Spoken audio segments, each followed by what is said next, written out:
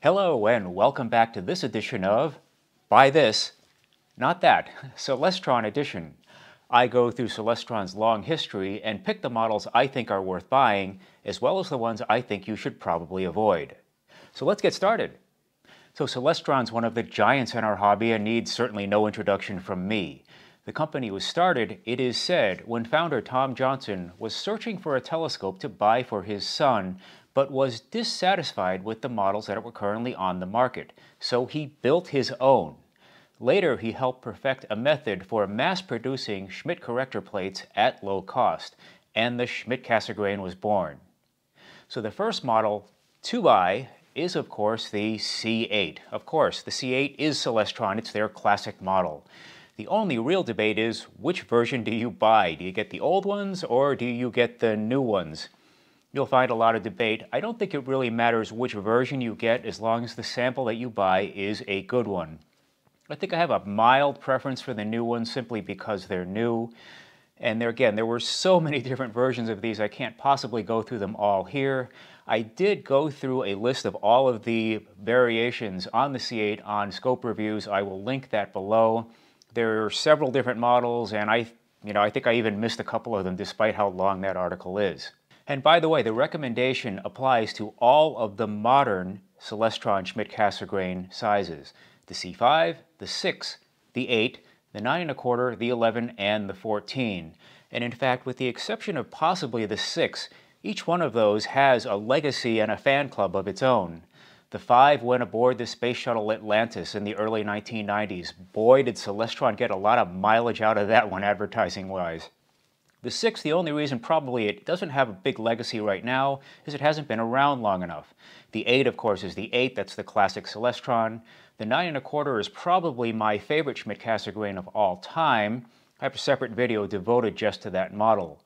I remember when the 11 came out, the 11 was a sort of a miniature substitute for the C14 who didn't want to deal with the 14, and many people have a saying that the C11 is the C14 that you always wanted. And as for the 14, you know, what can I say? It's so iconic, so much personality, so much charm in a Schmidt Cassegrain, which is pretty rare. I had one of those once. It was too big for me and I sold it. Having said that, I kind of miss it. Maybe I'll get one of those again another day and come up with a semi-permanent solution like a rolling dolly or something. If you're fortunate enough to have a permanent observatory, I'm jealous. Anyway, all the modern versions, again, recommended you just pick the one that suits your lifestyle and your budget. For most people, the sweet spot is the C8. So in searching for models that I would not recommend, there actually haven't been that many. I think Celestron has done a pretty good job of staying in their lane. They know who they are. They're a Schmidt-Cassegrain company, and they dabble in some of the other designs. When they've needed to fill in a gap in their product line, they have brand labeled or partnered with other manufacturers. I think for them that's probably a good idea. But there are a couple of models that you might want to be aware of, and the first one is Celestron C90 Maksutovs from the early 1980s. I think they were trying to fill in the product line below the C5 with mixed results. These things don't have a very good reputation. I don't think the 0.965 inch eyepieces helped. There were at least three different versions. There was a telephoto lens, a spotting scope, and an Astro version with a single-eyed sided swing arm and a motor drive base that was AC. You can recognize these because they focus by turning the barrel. Some of them were black and some of them were orange. It didn't help that these telescopes were around in the hyperinflationary early to mid 1980s. The Astro version at the time sold for $550. That's over $1,500 today in 2021 dollars. So again, these are telescopes that you probably want to avoid. Having said that, I do know that there are people out there who collect these things. Not necessarily because they're good, but because, you know, they're capturing nostalgia or because they're just a piece of our history. Here's a picture of a small collection from a club member who picks these things up. If you're eagle-eyed, you may be able to spot at the bottom that is a Coulter 4-inch collapsible Newtonian, another telescope from that early 1980s era that wasn't that good. But anyway, very often you don't set out to collect these things. What happens is you're at an estate sale or you see one online and you pick one up and it doesn't cost very much and then a short time later you're in a thrift shop or something and you see another one, the next thing you know, you got a collection. Not to be confused with the older versions, the new C90s, they're black, or at least the ones I've seen are black, are quite good. In fact, this model made my list of the top five underrated and overlooked telescopes. Seek those out, much better than the older versions. So another example of a Celestron telescope to buy is Vixen branded high-end refractors, mainly from the 1990s. These can be hard to identify because they weren't really talking as to who was making what for whom, but there are a couple of models that are very desirable, and they are both 4-inch apo-type refractors. One is a C102ED with ED glass, and even more desirable is the C102F, the fluorite version. If you can find one of those in good condition at a good price, you might want to snap one of those up. There are people who feel today that those are some of the finest examples of 4-inch refractors ever made. And there are other models as well, too many to name here. One other one I want to mention is the GPC 102. That is the 4-inch f8.8 Achromat on a Great Polaris mount. Yes, it's an Achromat, but within that limitation, very desirable, very collectible telescopes. Again, if you can find one in good condition at a reasonable price, you might want to consider snapping that up. So another example of a Celestron telescope not to buy is 1980s era Halley's Comet Edition telescopes from Celestron. I don't know what happened here, but it seemed as though Celestron was intent on slapping the word comet on every crappy telescope in their lineup, and there were quite a few of these. There were some really bad Schmidt-Newtonians and cheap refractors. This was bad on any number of fronts, not the least of which is the fact that by today's standards, Halley's Comet in the 1986 version was considered something of a minor bust.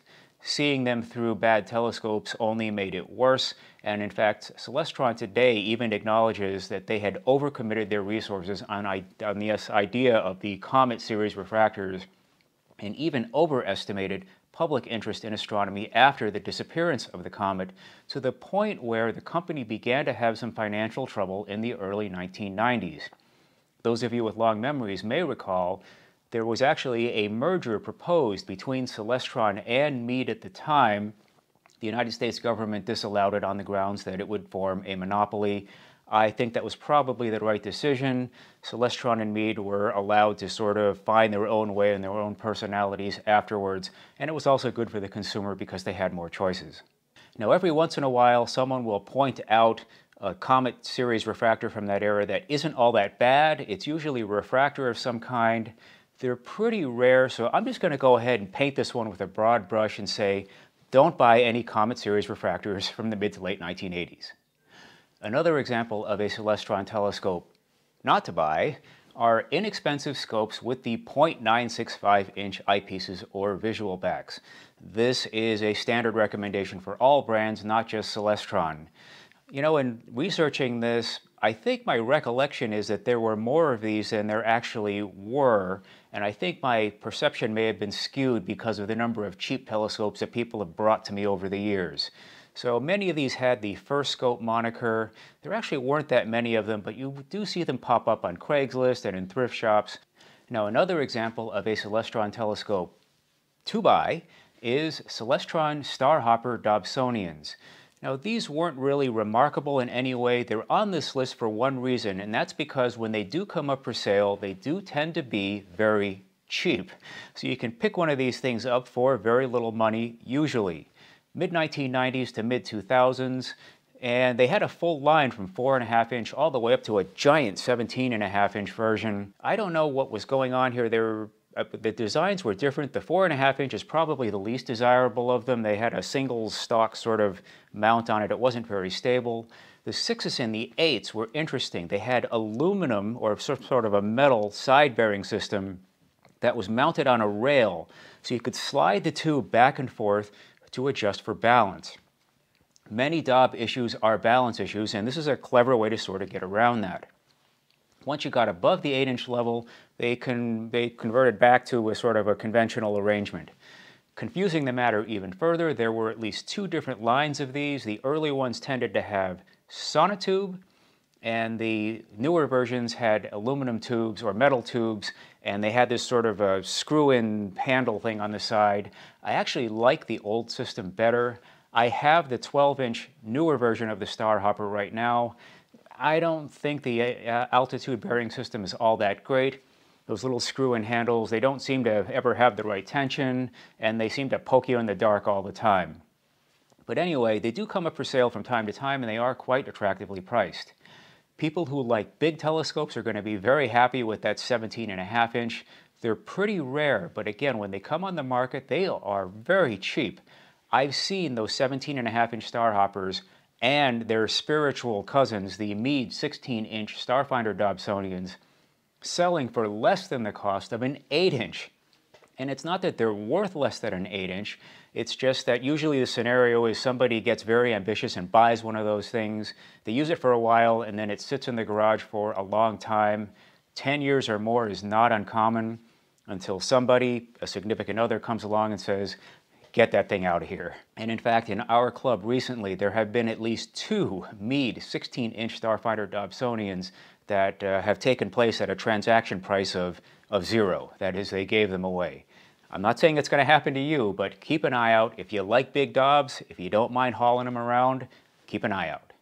So another example of a Celestron product that I would say to buy is a mount, and that is the CG5 and AVX Duo. The AVX is the newer version. So a couple of caveats here. These are definite purpose computers. Computers glitch, they fail, Every once in a while somebody will write me that they bought one of these and it just doesn't work at all. Yes, it happens. So the question is, do these things happen with the Celestrons any more or less than the other manufacturers? And having seen a lot of mounts now, I would have to say the answer is probably no. I think they're all about the same. You keep using them as they age, eventually something's going to go a little bit screwy on you. I say, I've said this before, I, on my AVXs, I have to do a factory reset on them, you know, about once a year or so, and every once in a while I'll have to do a firmware update when something starts going a little bit uh, odd there with them. So that's one caveat. The other caveat is to watch the payload limit, keep it, uh, you know, reasonable. I've seen weight claims on the CG5, the CG5 here, uh, on the AVX of 30 to 35 pounds. I wouldn't go anywhere near it. Uh, I put a Takahashi FS102 fully loaded on one of these. It weighs 14 to 15 pounds. That's probably about the most I'd want to see put on one of these things. A fully loaded C8, also about the same weight, again, works very well on that mount. That's why you see so many C8s on CG5s and AVXs. The third thing is, there is a bit of a learning curve.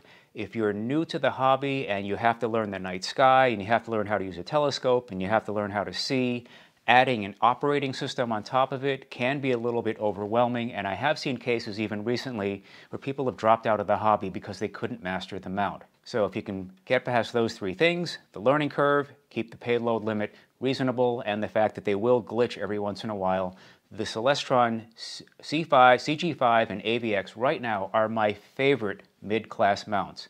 The operating system makes sense. They do a good job of keeping up with the firmware. One feature I really like on these is the ability to add, at least in my firmware versions, up to four additional calibration stars in addition to the two that you align to begin with, giving you in essence a six-star alignment.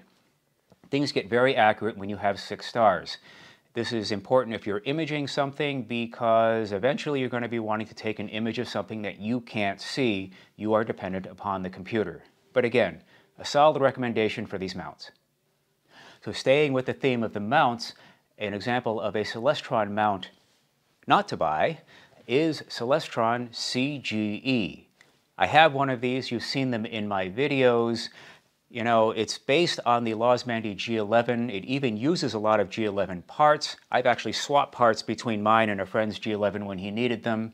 The Losmandy G11 is one of my favorite mounts of all time. So if the G11 is one of my favorite mounts and this thing uses a lot of the same parts, why am I saying stay away from this one? Well, if you own one of these, you know what I'm about to say. So when customizing the CGE for Celestron E's, they changed the cabling arrangement between the RA and the Dec. Uh, I don't know why they didn't just use the Losmandy right ascension and Dec cablings, it was fine, but they use a sort of thick cables with the different kind of connectors, and mine has this thing called the runaway mount problem. This is a known issue, and it is exactly the way I describe it. You'll be standing there and everything will be fine, and suddenly the mount will just start running away from you. This can be quite disconcerting if you're not prepared for it, but now it happens so much with mine that I actually sit there and I have to watch it, and I actually start expecting it.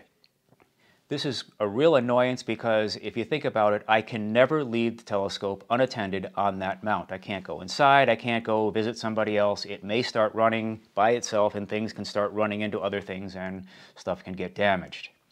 Now there is a fix for this. Several amateurs have come up with their own independent fixes, but the one that's used the most often is what is referred to as the Gary Bennett mod. And what Gary has done is he has come up with a method for retrofitting the cables with this industrial sort of cabling system, and the problem goes away. So why haven't I done this to mine?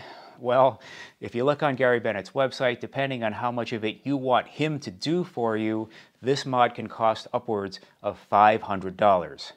Yes, that's for two cables.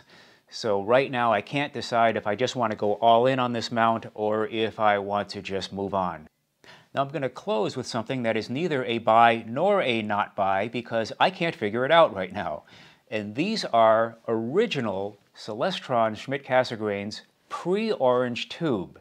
Now these were the white tube uh, ones with the blue accents. Ironically, the color scheme looks kind of like the Meades nowadays.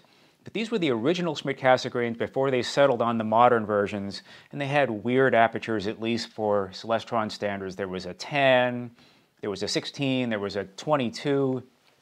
So the reason I can't decide is these do come up for sale from time to time. They're pretty rare, but at least as of the time of filming right now, they don't seem to be going for that much money. So the demand is low, but the supply is low, so right now the prices are kind of reasonable. The question is, will these things become valuable in the future? And I just don't know. So that calls on you.